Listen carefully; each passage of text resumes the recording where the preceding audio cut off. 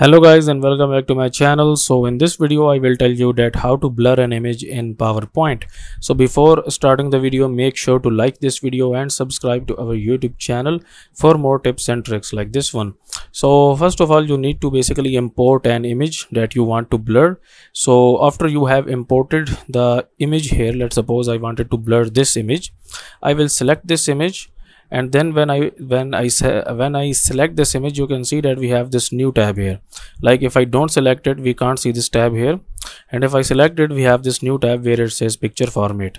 So just click on this one. And then here you can see this option where it says artistic effects. So just click on this one and here you can see bunch of different effects that we can apply to this image. And here we have this blur effect okay? So if you want to blur just click on this one.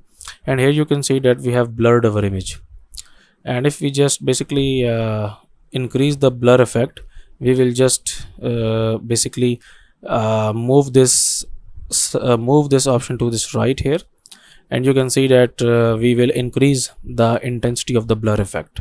So that's it for this um, video guys. If you find it useful kindly like this video and subscribe to my channel. And i will meet you in the next video